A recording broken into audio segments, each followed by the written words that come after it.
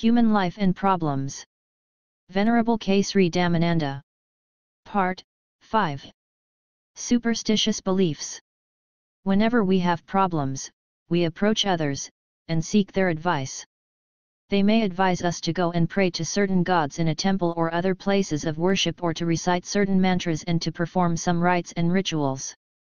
But the Buddha's advice is entirely different.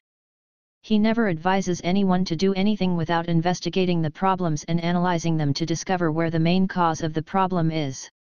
The trouble with us is, whenever we face any problem, we suffer from fear due to ignorance and we create for ourselves unfounded fear, imagination, and suspicion.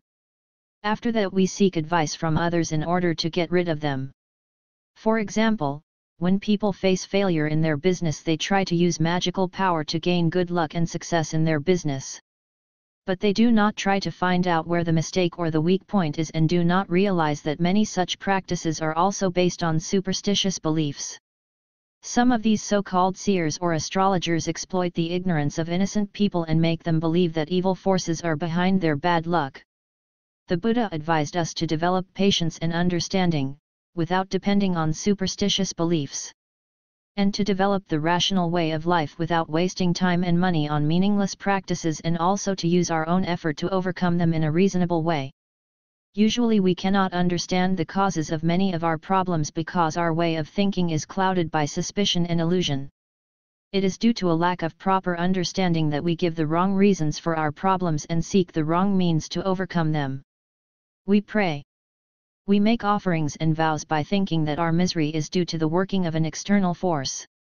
Actually, most of our problems and worries are created by ourselves. We do not strive to develop a correct way of life through moral and spiritual development. We think that religion is only for us to pray or perform certain rituals to get rid of our problems. If we maintain such beliefs, how can we concentrate on enriching our knowledge and understand things in their proper perspective? The tree of civilization has its roots in moral values which most of us do not realize.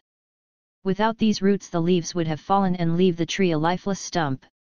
Today, we have developed our worldly life in such a way that we have no time to devote for self-discipline or to cultivate inner peace. Although we may have more than enough to satisfy our material needs like food, shelter, and clothing. All the while we go on thinking of how to make more money and how to enjoy life in a worldly way even at the cost of others' rights. When we come across certain problems, we start to grumble, show our temper and create more disturbances not knowing that it is impossible to overcome our problems by adopting such an attitude. Worries. People concentrate more on pleasure rather than on their peace and health. Some people worry by considering their future although they have more than enough at the moment. They worry about their sicknesses, old age, death, funerals and also about heaven and hell or the next birth. Every day they experience uncertainty in their lives. They run around searching for a remedy to end their problems. They worry when they are getting old. They worry when they cannot gain what they want. They worry when they lose their belongings or persons they love. After that, they create frustration, anguish, mental agony, and suffer from mental disturbance and later these turn into physical ailments. Throughout their lives, they continue this search for peace and happiness until they die without finding the real solution. Not knowing the real nature of life, we try to maintain it without experiencing any disappointments and changes. But life is changeable. It is a bundle of elements and energies which are always changing and the situation is always not to our satisfaction. Sometimes we feel life is not in our favor. When the elements and energies are imbalanced, we experience uneasiness, sickness, pain, and many other problems. When mental energy is disturbed, we experience mental problems. After that our organs and glands also change their normal functions and affect the blood circulation, hormones, heart, and brain cells. We can avoid many of these problems if we can understand this conflict in our body and lead a natural life in harmony with natural forces which make up our physical existence. Facing realities Today many people lead an artificial life not knowing its danger. Many of our problems are created by us due to our crazy attitude caused by temptation. Simplicity makes life run smoothly. Many of us realize and experience them only when we grow old. For example, let us assume there is a pit about 100 feet deep and we put burning charcoal at the bottom. We then lower a ladder into it and ask people to go down one by one. Those who start to go down do not complain about the heat until they go further down to a depth of 30 to 40 feet. After 40 to 50 feet, they feel a certain amount of heat. When they go still further down to 70 or 80 feet and reach nearer to the burning charcoal, they will experience the sensation of burning. In the same manner, young people do not experience suffering although the Buddha says life is one of suffering. But it is a good analogy to explain that as we gain more experience we see the truth about suffering more clearly. The real meaning of suffering is experiencing unsatisfactoriness in everything. Neighborliness. Let us consider our families. How many families are there who live with mutual understanding and love? Here we think not only of our immediate families but also those who live around us. We can invite the whole world into our room through our TV but we are not willing to invite our next door neighbors into our houses to talk to them in a friendly manner. We have no time to look at the faces of our own family members but we spend many hours to see the faces of unknown people on the television screen. Even within one family we have no time to look at each other with smiling faces although we live in the same house. How can there be unity and happiness in such families? The sad fact is that this strange behavior is very common in modern society. Some people completely ignore their family members after their marriage. That is not the real way of life. We should maintain a community that lives by assisting each other and by giving moral support to those in need. Although they do not assist each other very often to the extent that human beings do, animals live together sometimes protecting their group or their young from their enemies and their young always follow the elders. It seems that today we are not living as real human beings. We have deviated very far from our natural ways of life. That is why we have to face so many problems and hence we feel lonely. We must understand that there are some natural problems and there is no way to escape from them. There are also many other problems which are man-made, some are mind-made, resulting from illusion and ignorance or selfishness. We are responsible. Even educated people do not use their knowledge wisely when they come to superstitious practices that are performed in the name of religion. Try to get rid of this poor mentality by strengthening the mind and developing self-confidence. Then we can overcome many of our problems and in most cases, our imaginary problems will simply disappear. According to some religious beliefs, there is a God who is responsible for all the good things that happen to us and if anything goes wrong, then the devil is to be blamed for it. To us it is not a very convincing belief. Most of us simply do not try to understand why we are not happy and why we are not satisfied with our lives, and who is responsible for this situation. The Buddha teaches that we are ultimately responsible for every action of our which leads to contentment or unsatisfactoriness. Besides all major problems for which we are responsible and which affect us directly we also create some others which divide mankind and create problems such as racial arrogance, religious fanaticism, cultural and traditional discrimination, language problems, color bar and superiority and inferiority complex by thinking the followers of other religions are their enemies and it is a sin to support the activities of another religion. They never think that the followers of every religion are trying to do some service to humanity and not do harm to others. Problems such as these indirectly contribute to our sense of discontentment.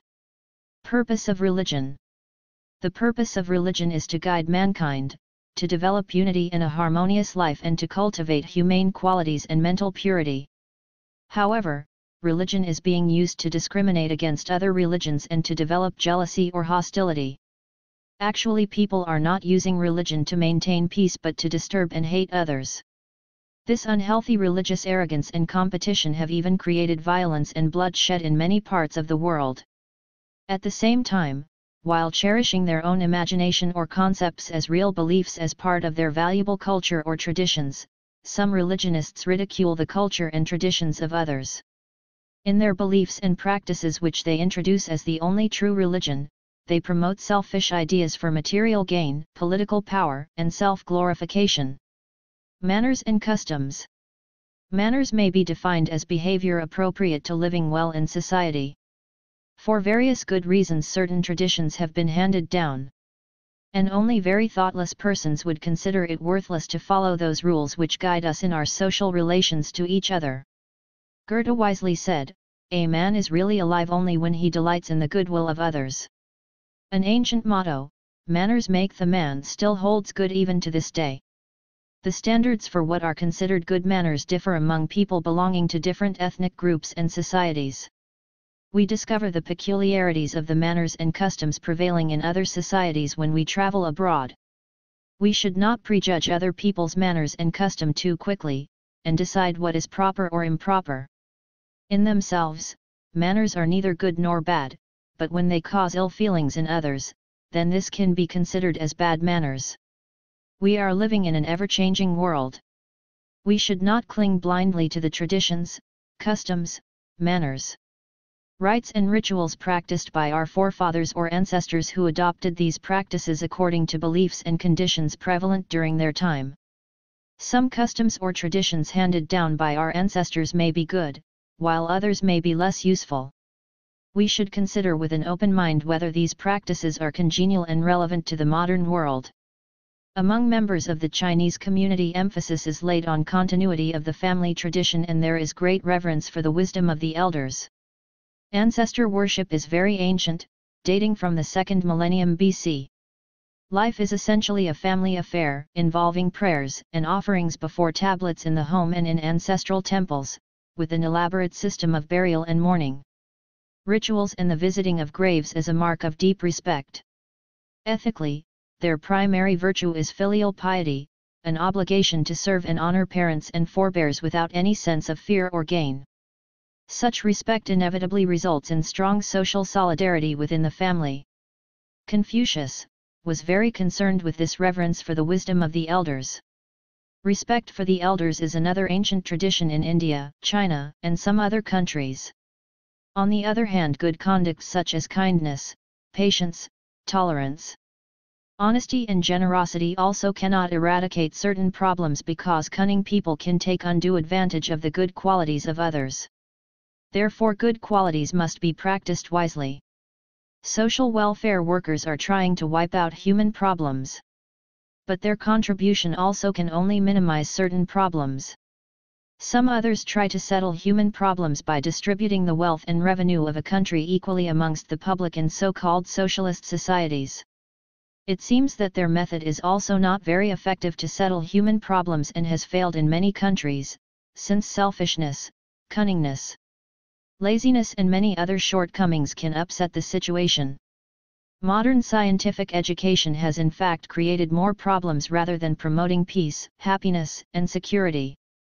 Governments try to maintain peace and order by punishing those who disobey the law. But all over the world, evil and immoral practices are spreading rapidly. Ignorant people resort to charms, magic, supernatural powers and mantras to overcome their problems. But nobody knows just how far they can succeed through such beliefs and practices. Some use violent methods to gain what they need to settle their problems. Some others try to settle human problems by improving people's lives through financial aid. Certain religious authorities on the other hand try to settle these problems by illustrating the concept of a paradise to create temptation and to frighten people by threatening them with hellfire. Whatever method people adopt to avoid their problems, they have to face more and more new problems in their day-to-day -day lives. The reason for this situation is that they have not realized that the main cause of most of their problems is the untrained mind and selfish desires or uncertain worldly conditions. When we study the life of primitive people, we can see that they have to face relatively few problems. These problems are mostly related only to their need for survival. But in the so-called civilized societies of today many of our problems are due not to our desire to continue living but because we seek too much sensual pleasures. Many people believe that the purpose of their lives is only for self-gratification. How do we face problems? we usually create some other problems while trying to solve our existing ones.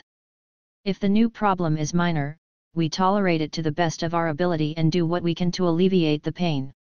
For example, when we have gastric ulcers and suffer severe pain, we consult a doctor.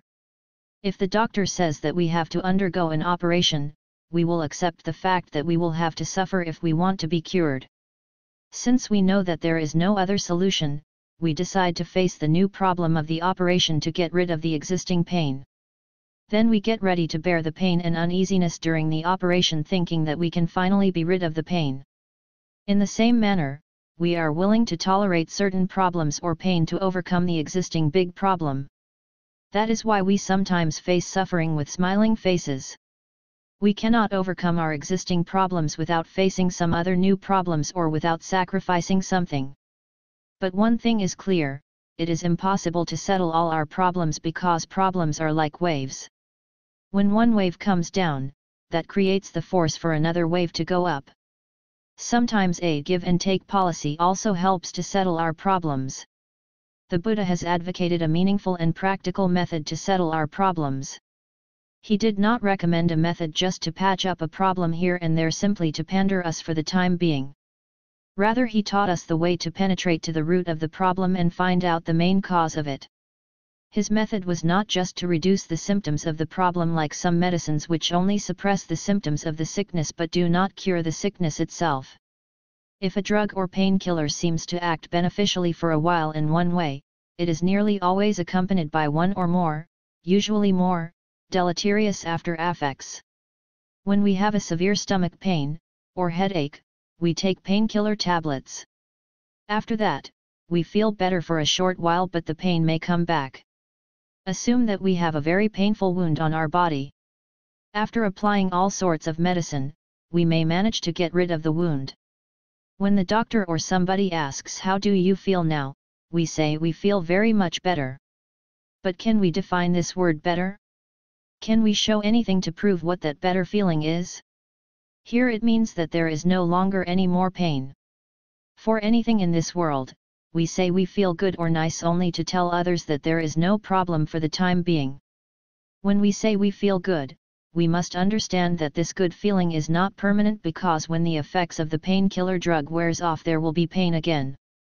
This is the nature of life. The Buddha's method for gaining permanent happiness is to uproot the main causes of the problem and not by suppressing them. Of course. Some people say it is difficult to practice the Buddha's teaching, because it does not provide short-term relief. The Buddha taught that the cause of our misery is so deep-rooted that we must take strong measures to root it out permanently, so that it can never return.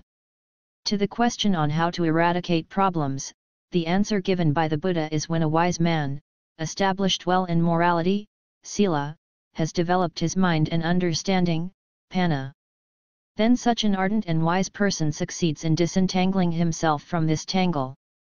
A person who is diligent and understanding, by realizing the real nature of existence, develops his moral behavior or self-discipline. Sila means discipline of the senses. Speech or action according to a moral code.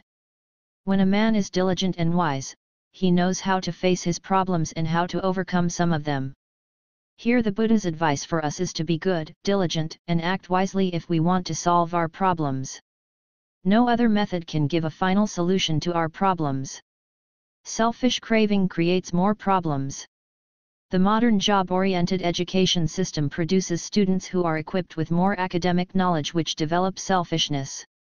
It produces clever people without any moral development. Such people do not care what happens to others or to the world so long as they alone profit on a materialistic level. Through cunningness and adopting scientific methods to achieve their selfish desires they increase their own anxieties. Human beings are more selfish in their craving for pleasure than any other living being. They enjoy worldly lives and sensual pleasures with no thought for the welfare of others or for the survival of the species. They also like to live long to experience pleasures. They develop craving towards the property they have accumulated and are scared of death because they do not want to depart from their properties but other living beings have no such selfish ideas. They use their senses only for their survival and lead a natural life without willfully hurting others. It has been said that only man hoards more than he can eat. All other animals take only as much as they need for their survival. What they do not need they leave alone for others. Today we even neglect our relaxation but indulge in the senses to such an extent that we have become slaves to self-gratification. Patients in a vegetative state and euthanasia. What is euthanasia, one might ask? It is a word derived from two Greek words, eu meaning good, and thanatos meaning death. Put together, it means, good death. There has been a long-standing debate on whether legalizing euthanasia, where terminally ill people are allowed to commit suicide with the assistance of doctors, is murder or mercy killing. The argument for legal voluntary euthanasia states that people ought to be able to die with grace, dignity, and in a compassionate manner.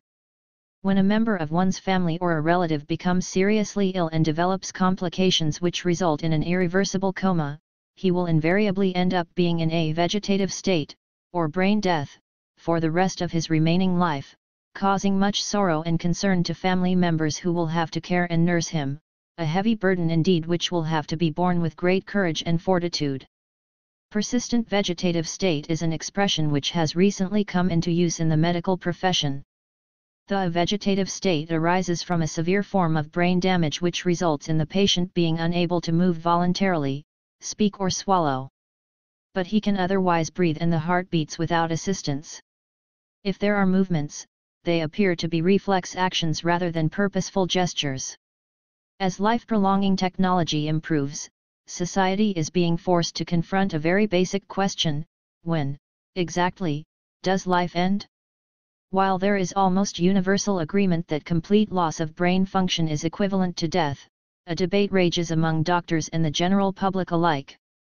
When it comes to patients in the persistent vegetative state, PVS, the diagnosis of persistent vegetative state, according to the Royal College of Physicians in Britain, can be made after a patient has been in an apparently vegetative state for 12 months.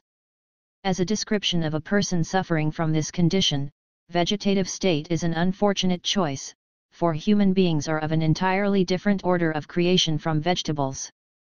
The body may die but there is life after death.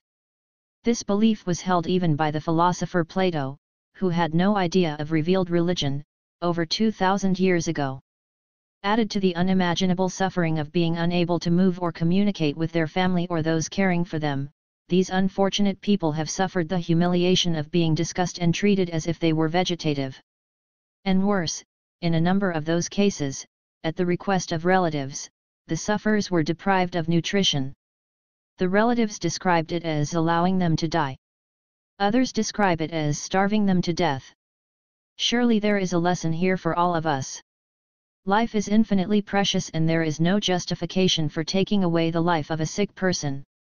Indeed, we have an obligation to guard it and strive to make him or her well or, if that is not possible, at least as comfortable as we can. There is a major distinction in principle between taking steps to end the life of a fellow human being and taking steps to eliminate or minimize pain, to give the sufferer comfort and to preserve his dignity until he breathes his last. Life is sacred and every human being is worthy of respect.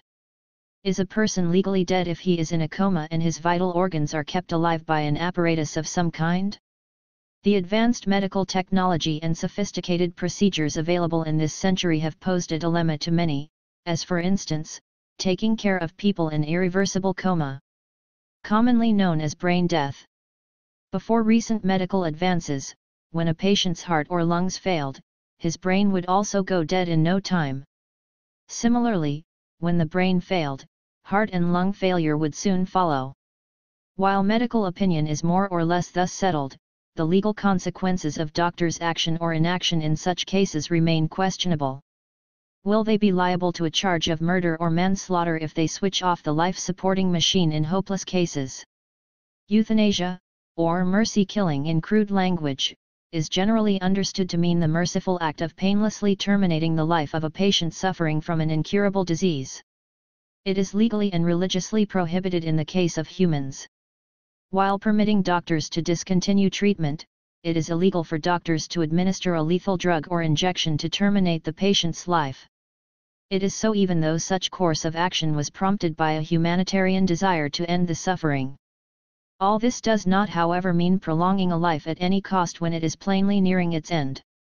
Allowing someone to die implies a recognition that there is some point in terminal illness when further curative treatment has no purpose and that a person in this situation should be allowed to die a natural death in peace and dignity. In no way, should this involve active or willful destruction of someone's life.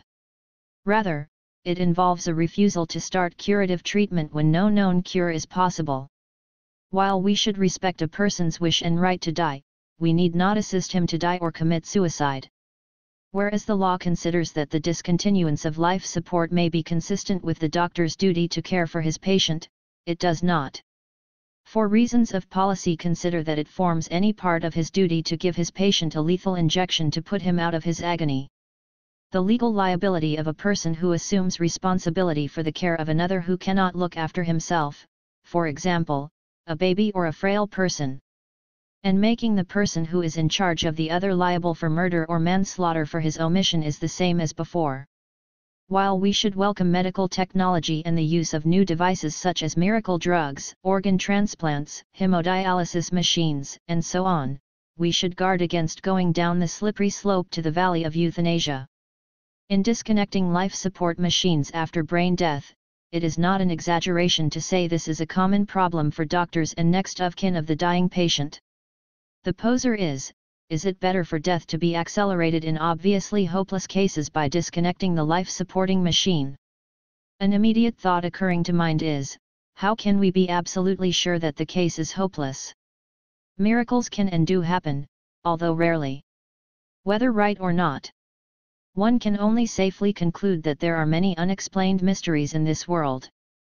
This is a matter that has been agitating the minds of the Orient for many years. Buddhism does not countenance euthanasia for two reasons. The first is that every living being has the results of its own past karma to work out. And any interference with his situation will not be anything more than a temporary alleviation of the suffering it is bound to endure. The second reason for condemning the mistaken support for euthanasia concerns the doer and the deed.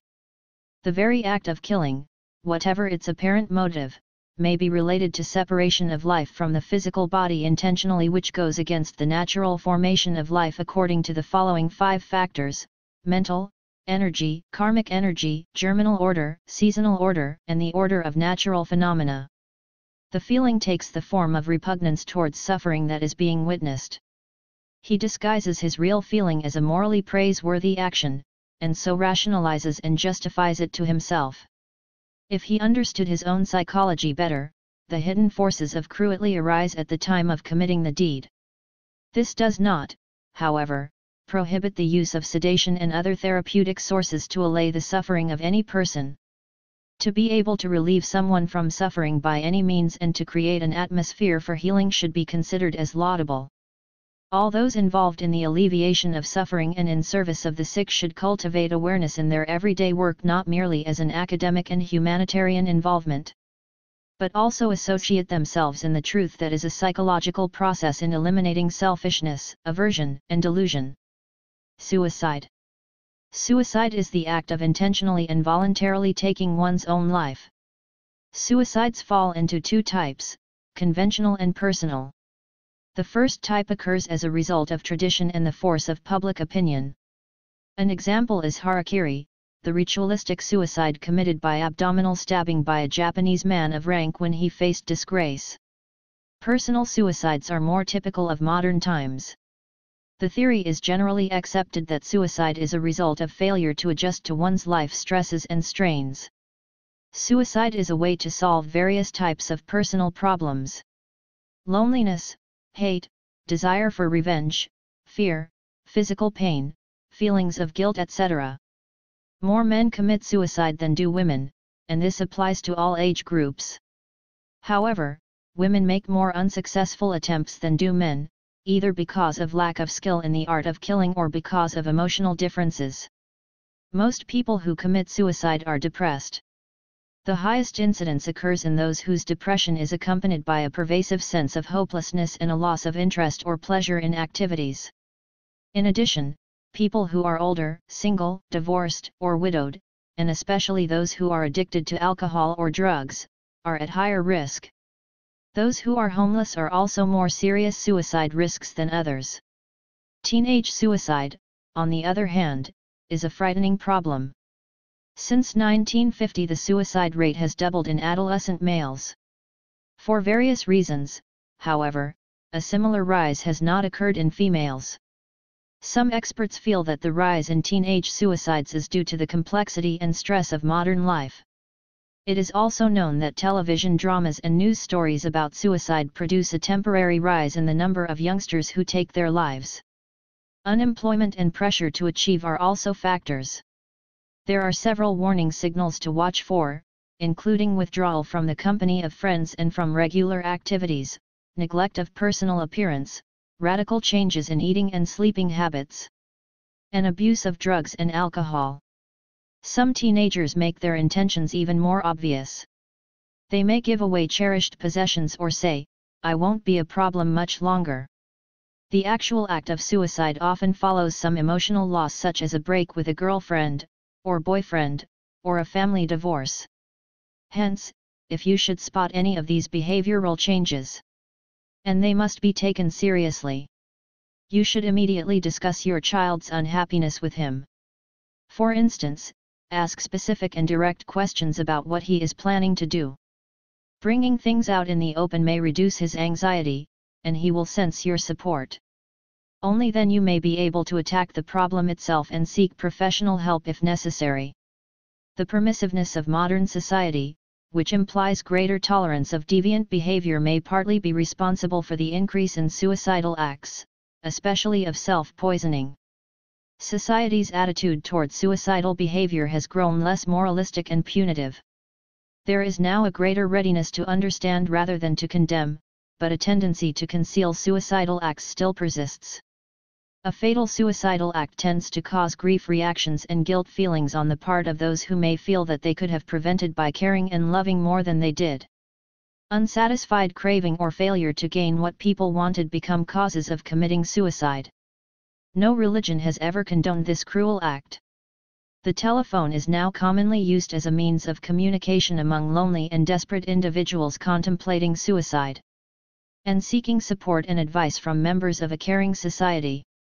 As in the case of Alcoholics Anonymous and other similar organizations, voluntary workers serve as advisors round the clock and their services are available to would-be suicidal cases at any time. There is evidence that this kind of service does help to avert suicidal acts to a great extent. Mental imbalance Mental imbalance which we regard as madness is another big problem. By violating an ethical way of life, man disturbs his own peace and happiness and that of others. Then by bringing external incidents into the mind more miseries, excitement, fear and insecurity are created. Many people have to suffer from frustrations and nervous breakdowns because they have not trained their minds to maintain contentment. They have developed only craving for sensual pleasures. To them development means development of craving. As a result, they also develop unhealthy competition and violence. That is how they have turned the whole world into a chaotic situation. After that, everyone cries for peace. People accuse God or the devil of putting them in misery. They do pray and worship to escape from the problems which they themselves created. We can understand now who actually creates problems and who can overcome them. The Buddha says the world is within you. When you discipline yourself, the whole world is disciplined and peace is maintained. It is not necessary to beg for peace from others. Good and bad, peace and violence, all exist because of the trained and untrained mind. Coping with stress. The word stress is borrowed from physics and engineering, where it has a very precise meaning, a force of sufficient magnitude to distort or deform. In psychiatric practice however, stress involves an individual's physical and emotional reaction to pressure from his environment and from within himself. There are two major types of stress, the stress involved in loss of a loved one, or a job, or of self-esteem that comes when a person's level of aspiration is impossibly high. And the stress involved in threats to the individual's status, goals, health, and security. Stress gets its bad name because it may become an unavoidable part of life, and cause one to be constantly agitated. When this happens, it is possible to become overloaded and suffer physically or emotionally, or both. Stress can be caused by any number of factors, including changes, both good and bad, personal problems, physical difficulties, illnesses etc. Common sources of stress are, death of spouse or close friend, marital separation, divorce, sexual difficulties, change of residence, child leaving home, pregnancy, in-law troubles. Impending foreclosure on mortgage, dismissal, from work, redundancy, change in work responsibilities or working conditions and trouble with the boss. Each period of one's life has its own set of stresses. In early life, the child has to cope with the immediate family group and the demands of school. Adjusting to the personality of the teacher and to the other children can be very stressful, as can the problem of boy and girl relationships in later adolescence. Then there are the academic stresses of college years and worries over career choice. After college, for most there are the problems of the first years of marriage. These can be quite serious and often lead to early divorce. The problems of having children bear heavily on women, while men have early career problems. Some of the stress-related illnesses include peptic ulcers, migraine headaches, depression, high blood pressure, stroke, and heart attacks. Continuous stress can weaken the body's immune system, and as a result the system may become less effective in battling infections. Some authorities even suggest that chronic and excessive stress may contribute to the development and progression of cancer. In times of stress the body secretes a cascade of brain chemicals and hormones, including adrenaline and hydrocortisone, that stimulate what is known as the fight or flight response. Adrenaline increases the heart rate and rate of breathing, and prepares the body to fight an external threat, or flee from it. Hydrocortisone helps to maintain its readiness for dealing with stress. Thus when we hear bad news on the phone, our immediate reaction is one triggered by adrenaline, followed by an increased secretion of hydrocortisone. The hormones that help us to cope with stress for a short period, however, can cause health problems if we are subjected to long-term stress. Constant stress causes the body to secrete adrenaline and hydrocortisone on a continuing basis, and in time their presence in the bloodstream may be erosive. Prolonged high levels of adrenaline, for example, force the heart and lungs to work overtime and keep blood pressure above normal level. In time these changes may contribute to strokes or heart attacks. Anxiety is the feeling of apprehension, tension, or uneasiness one gets when expecting danger. We all face some anxiety in order to perform difficult tasks well, but too much can be incapacitating. Anxiety disorders constitute the most common group of mental illnesses, including the phobias, panic attacks, and post-traumatic stress disorder. Many people have a simple phobia. A fear of specific objects or situations.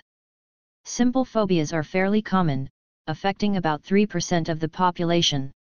The phobias are defined as obsessive, persistent, unrealistic, intense fears of an object or situation.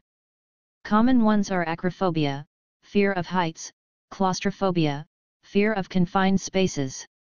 Agoraphobia, fear of leaving the familiar setting of the home and being in a crowd or public place, and xenophobia, fear of strangers. They tend to avoid social situations lest they become humiliated or embarrassed. Insomnia, or difficulty in sleeping, is common in many people under many different circumstances. In fact more than 10% of people may have sleeping problems. If one is facing a temporary but important deadline at work or are under a lot of pressure, he may worry and therefore lose sleep. Our bodies prefer regular daytime activity, so shift workers have trouble adjusting their patterns of sleep. Certain people, particularly war veterans, may suffer from what is known as post-traumatic events during the war such as explosions following artillery bombardment, shell shock, and combat exposure. And often develop such long-term stress reactions. And the symptoms may appear or intensify long after the trauma had passed. One would experience recurrent, troubling thoughts, memories and frightening dreams or nightmares. One could be excessively irritable or anxious and may startle easily. At times he may seem to withdraw, lose interest in things he usually enjoys and feel detached from others.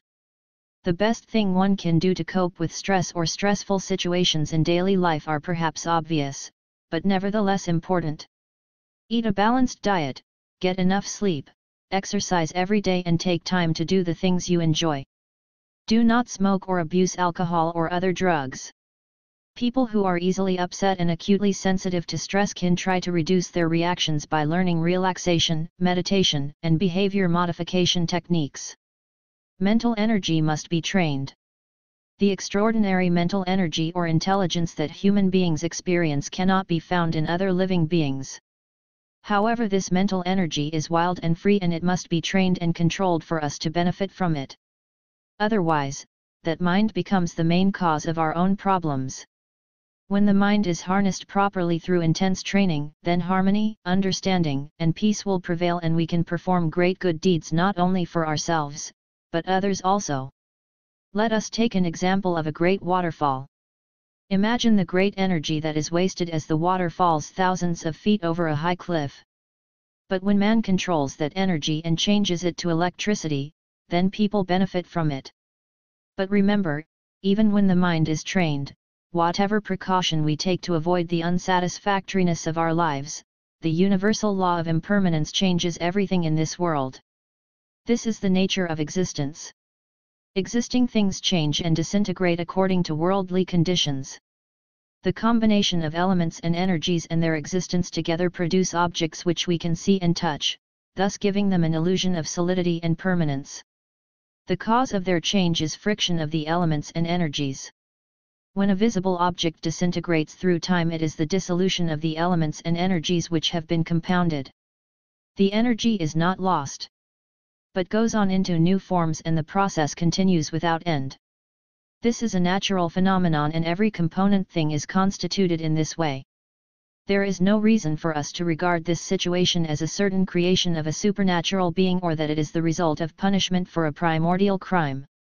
Buddhists regard this as a natural phenomenon but many others regard this situation as a problem because changes and impermanence disappoint this craving for permanent existence.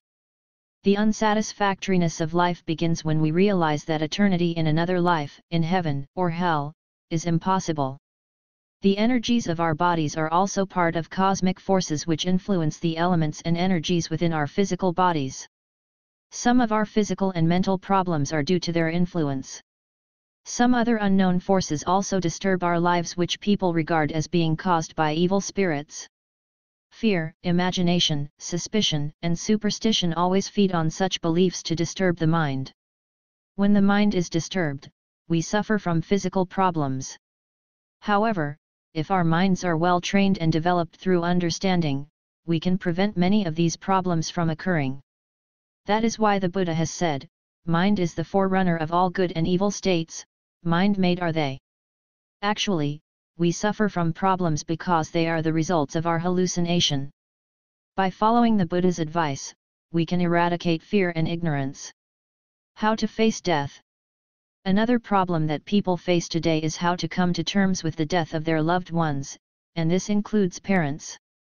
We must realize that death is a natural occurrence and however much we love our aged parents we have to realize the biological fact that human cells have a certain lifespan. A time must come when they stop renewing themselves. It is to be expected that in extreme old age, cells lose their ability to maintain the balance of the destruction and repair process and can no longer maintain the body in a healthy manner. The history of man is nothing but how he tried to run away from death. Different cultures have tried to run away from death in different ways. Mind needs a permanent life but life creates an impermanent physical body and we take this as life. After that unsatisfactoriness disturbs the mind. For those who have lived a long and reasonably happy life and who have strong religious training impending death can even be a welcome phenomenon. When the time comes the dying person becomes composed and leaves the world peacefully, confident that he or she had lived a harmless life and contributed to the progress of man. In societies with deeply entrenched religious beliefs and unadulterated cultural patterns, the concept that death is inevitable and a natural part of the life cycle is accepted. When it does occur in such societies it is treated with philosophic acceptance of the inevitable and is always treated with dignity. Human beings are the only beings who can understand that one day they will have to face death that is why they worry unnecessarily about it. Worrying about death will not make it stop, so why not accept it calmly? Shakespeare makes Julius Caesar say, Of all the wonders that I yet have heard and seen, it seems to memst Strange that men should fear. Seeing that death, a necessary end, will come when it will come. On the other hand, there are those who do not bother at all about the end of their lives or about what happens after that. However, the majority not only worry about existing problems but also worry about the next life. All other living beings are free from that feeling. We have to realize that whatever method we adopt to overcome our problems, it is impossible to gain complete satisfaction in our lives until we train our minds and reduce selfish desire. The teachings of the Buddha give us a very clear exposition of how to understand the nature of human problems and how to overcome them and how to face death without fear. Remember the simple saying in Buddhism, life is uncertain and the death is certain. Death is not the end of a life. In fact death is the beginning of a life and birth is the beginning of death. The setting sun in this country is the rising sun in another country. Therefore, birth and death are interrelated. The birth of a man is the birth of sorrow. The longer he lives the more stupid he becomes. What bitterness! He lives for what is always out of reach. His thirst for survival in the future makes him incapable of living in the present. Chuang-Tzu The Buddha reminded us that everything that exists is impermanent. With birth there is death, with arising, there is dissolving, with coming together. There is separation. How can there be birth without death? How can there be arising without dissolving? How can there be coming together without separation? Birth and death are two ends of the same string. We cannot remove death and leave existence only. First, man struggles to avoid death. After that, he prepares for death. Actually we do not exist but struggle for existence which we call living. The sanctity of human life. Sayings of the Buddha. Neither for the sake of oneself nor for the sake of another, does a wise person do any wrong. He should not cling to son, wealth, or kingdom, by doing wrong. By unjust means he should not seek his own success. Then, only, such a one is indeed virtuous, wise, and righteous. 84. Though one should live a hundred years. Immoral and uncontrolled, yet better, indeed. Is a single day's life of one who is moral and contemplative. Minus 110. Even an evildoer sees good as long as evil ripens not. But when it bears fruit, then he sees the evil results. Minus 119. Even a good person sees evil so long as good ripens not. But when it bears fruit then the good one sees the good results. Minus 120. Whoever harms a harmless person, one pure and guiltless.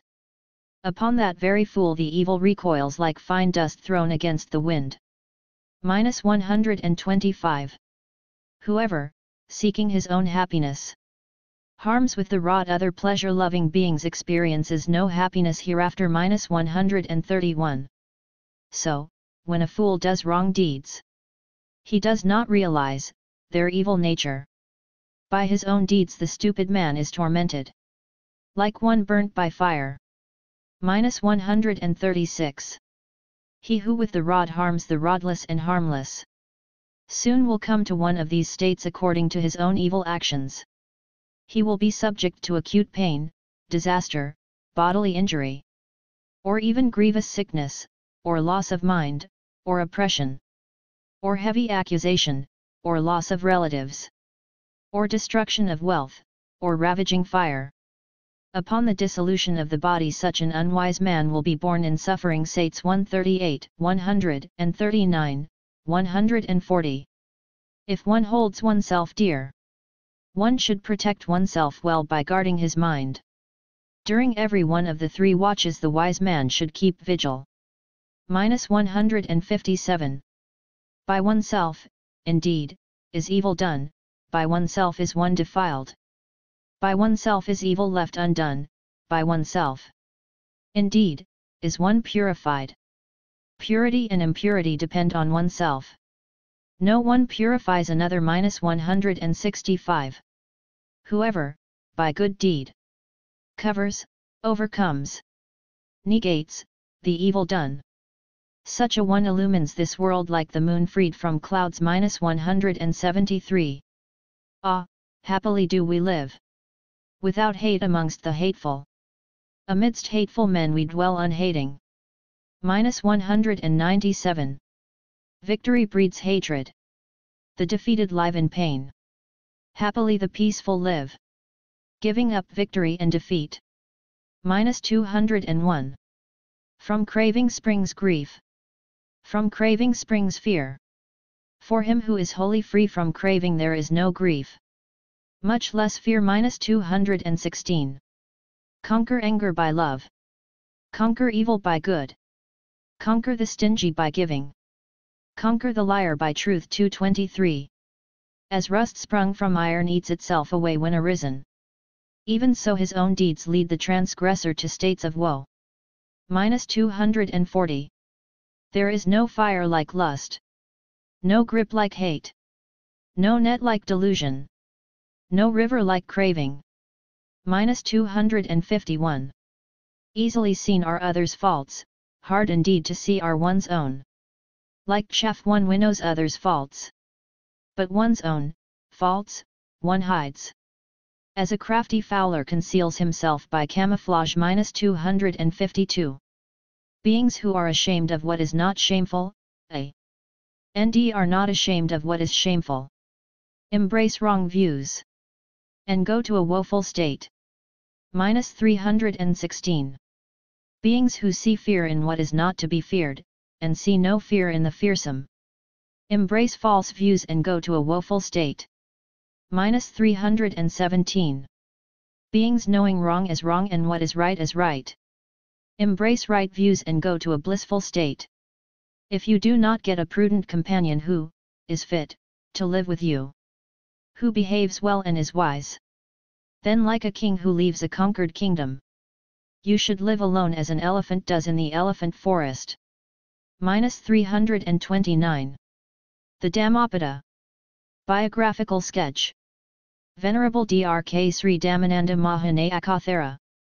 Venerable Dr. K. Sri Dhammananda, Doyen among the Sangha in Malaysia, has served Malaysian Buddhism for over 42 years, as spiritual leader, pundit, counselor, and friend. He was born on March 18, 1919, in the village of Kirinde, Matara Province, in southern Sri Lanka. He began his formal secular education at the age of seven and soon developed a keen interest in Buddhism. Helped in this early instruction by an uncle who was chief monk of the local temple, and the example of a devout mother, he was ordained a novice monk at the age of 12. At this time he was given the name Dhammananda, meaning one who experiences happiness through the Dharma. Devoting 10 years to a detailed study of the Buddha's teaching, at the age of 26 he received a diploma in linguistics, philosophy and the Pali Canon from Vidyalankara Pirivena. He received a master's degree in 1949 from Benares Hindu University in Indian philosophy. After serving Buddhism in Sri Lanka for three years, Venerable Dhammananda was selected to go to Malaysia. During the 1950s and 1960s Malaysian Buddhism was poorly regarded by the better educated Chinese, who thought of it as nothing more than superstition. Venerable Dhammananda, through the Buddhist Missionary Society, published many articles and pamphlets on all aspects of Buddhism, and as a result, many became aware of the Buddha's real teaching.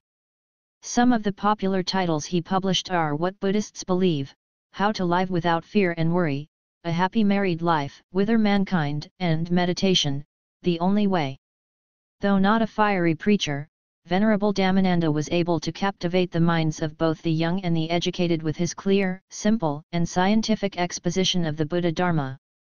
Venerable Dhammananda has been conferred with honorary doctorates by many universities around the world, and bestowed with the royal title of Johan Setia Mahkota by the King of Malacca. He also possesses what the Buddha described as the seven noble qualities of a great man in the Sakka Sutta, AN 431. He is lovable, respectable, cultured, a counselor and a patient listener, profound in discourse and never exhorting groundlessly. By Benny Liow Woon Kin